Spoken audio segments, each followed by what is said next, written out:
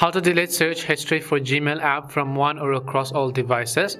Hi everyone, welcome back to our channel. I am Bimal from App Guide. In today's guide video, I will show you the way on how you can delete your search history for the Gmail app from one or either from all devices.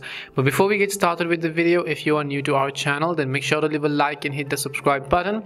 Without any further ado or delay, let us get started with today's video. If you want to delete the search history for the Gmail app on a singular device, go ahead and then launch the Gmail application first. Once you launch the Gmail application, tap on the menu icon on the top left corner and scroll down and go to the option called settings. Once you tap on settings, go to the option called general settings over here and as you go to general settings, tap on the three dots which you see on the top right corner of the screen and find the option called clear search history. So just go ahead and tap on clear search history. It'll ask you for a confirmation, so just tap on the clear button. If you want to clear the search history from across all the devices relating to your Google account, then just tap on your profile icon icon on the top right over here. Go to manage your google account.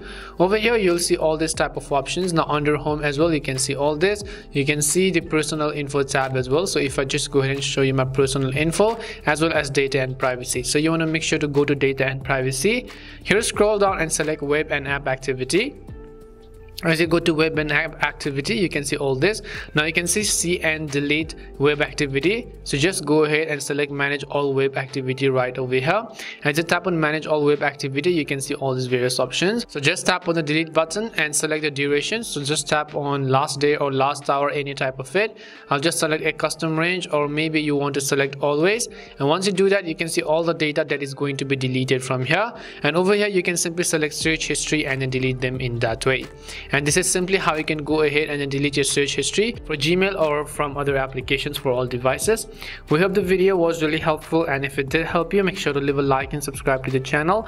If you have any more questions, queries or doubts simply also make sure to leave them down. Thank you very much for watching till the end of the tutorial and see you soon in our next video.